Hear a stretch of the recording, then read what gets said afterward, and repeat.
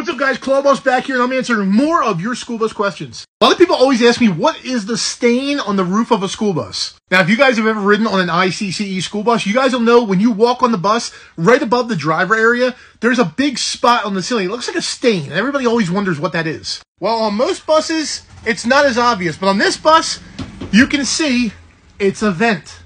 Now, if I just pop my head right out of here, you guys will see there's a vent on the roof of the bus. Now, what exactly this vent is for, I have no idea. Now, some buses don't have this thing on there. It'll just be a mesh ceiling. Now, I've talked about that before. That's called an acoustic ceiling. It's for sound dampening, so the bus isn't echoey. So most buses won't have this up there. It'll just be like a dirt spot. And everybody always wonders, why is there a dirt spot on top of the bus? Because of the vent. But I can't give you a reason why it's there. I have no idea. If anybody knows, let me know in the comments. As always, drop your questions.